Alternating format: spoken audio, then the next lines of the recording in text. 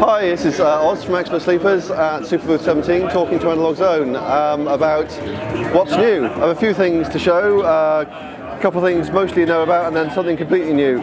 First thing I'll mention, the FH1, the USB MIDI host module, recently acquired an arpeggiator mode. Um, everybody knows what an arpeggiator is like, but now you have one in the module there. A whole bunch of different arpeggiation modes.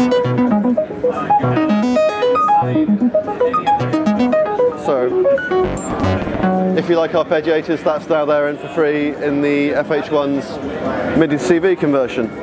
Um, next thing to mention, the Disting Mark IV, which I announced at NAMM in January, is now shipping, started shipping about three weeks ago. There's a feature that I didn't show at NAMM because I didn't quite have the software ready. This isn't a new version of the Mark IV, I'll be uh, keen to emphasize. Everybody who's already got the Mark IV already has this, they just don't know it yet. Uh, the new Disting has a pair of MIDI ports uh, on a breakout on the back of the board. So just by connecting up a couple of cables, um, I'm using a little thing I made here, you get MIDI in and out of the Disting. So you can use that to control the parameters on the Disting, to do MIDI to CV conversion, to do CV to MIDI conversion. This one here is connected to this Korg Volca here. Uh, I've got a sequence coming from this Disting into the CV to MIDI on the uh, on the Volca.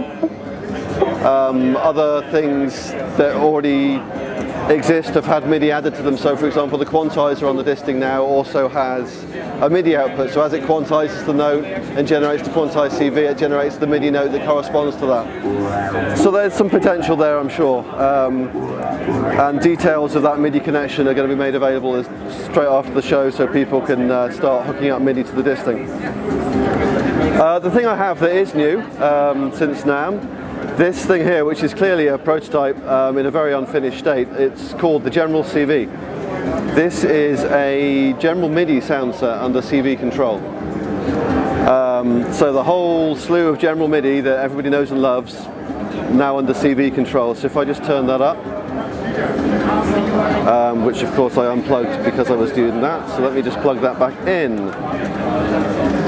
Bear with me one in there. Put that one in there.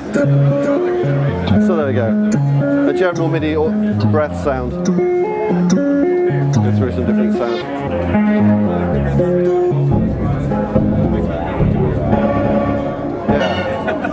Everybody loves an orchestral hit.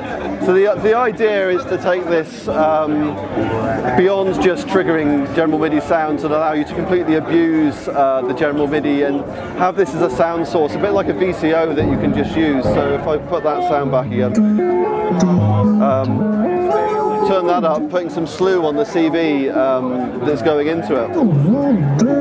See, we're now just bending it all over the place and you can have lots of fun with this. Um, or the whole General MIDI drum set is there, for example. So you can sequence up some nice General MIDI drum patterns, but this is great for abuse. If you take the trigger, you can go absolutely mad with it. Let's put that in there. And because there's a very tight coupling between my CV conversion and the general MIDI chip I'm using, things can go up to audio rates. Um, so for example, these drums, you basically end up with a kind of wavetable oscillator based on general MIDI drums. You put that in there.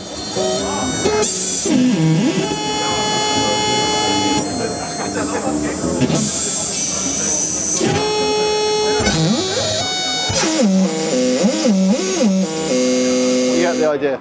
So the idea is to basically, as I say, add more inputs and knobs to this so it becomes a, a sound source like a VCO. You don't have to worry about what you're doing to general MIDI, just that this will expose that big synthesis power you get from these chips uh, and make it a lot of fun to use and abuse and make some wonderful sounds. And if you want a shakuhachi, it'll do it. Um, and I think that's pretty much it for um, Superbooth this year. Thanks for talking to me.